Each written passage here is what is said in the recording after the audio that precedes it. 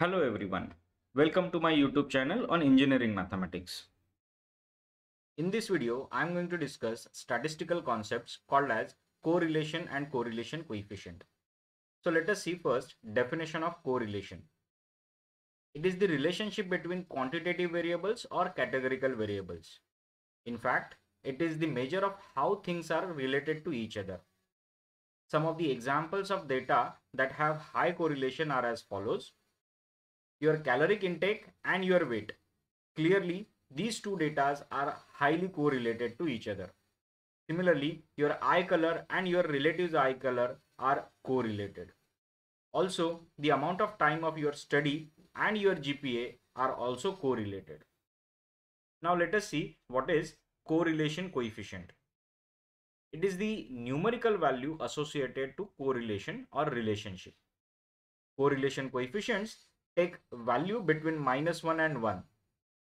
A zero correlation coefficient means there is no relationship at all between the variables under the observation. Minus 1 and 1 means there is a perfect negative or positive correlation respectively. Negative or positive correlation here refers to the type of graph that the relationship will produce. Look at the graphs below. Here x coordinate of every point represents value of the data on the x-axis whereas the corresponding value of y coordinate represents value of the data on the y-axis.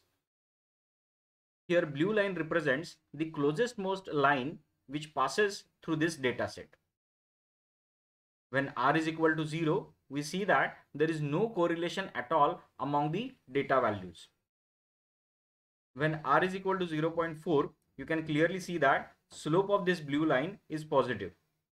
That means this data is positively correlated.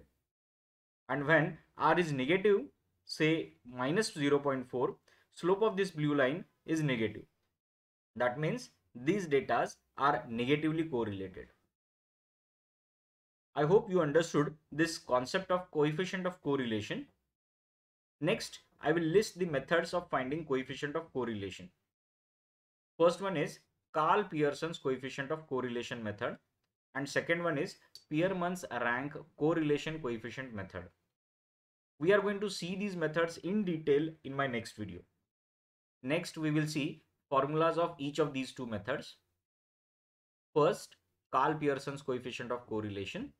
Karl Pearson's coefficient of correlation is usually denoted by small letter r and is given as follows. r is equal to covariance between x and y upon sigma x into sigma y, where sigma x and sigma y denotes standard deviation of x and y, where covariance of x and y has formula 1 by n into summation x minus x bar into y minus y bar, where x bar and y bar denotes average of values of x and y respectively, where n is the number of values. And sigma x is given by square root of summation x minus x bar square upon n and sigma y is given by square root of summation y minus y by square upon n.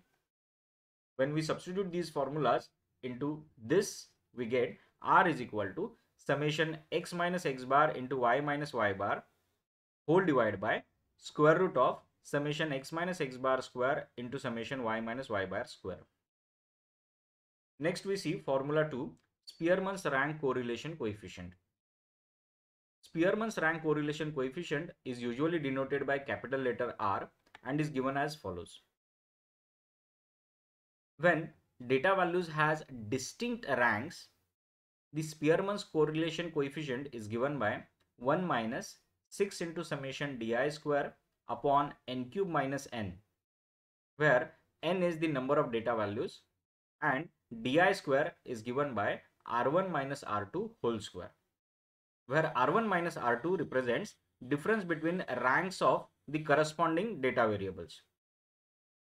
Now, when we see that the ranks are equal, then coefficient of correlation is given by 1 minus 6 times summation di square plus 1 by 12 into m1 cube minus m1 plus 1 upon 12 into m2 cube minus m2 and so on whole divided by n cube minus n, where mi denotes the number of items having equal ranks. And once again, di represents the difference between ranks of variables. I hope guys you understood the concept of correlation and correlation coefficient.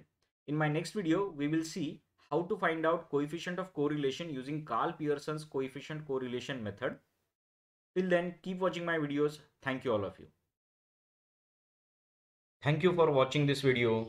Please subscribe my YouTube channel and press the bell icon to get updates about my new videos.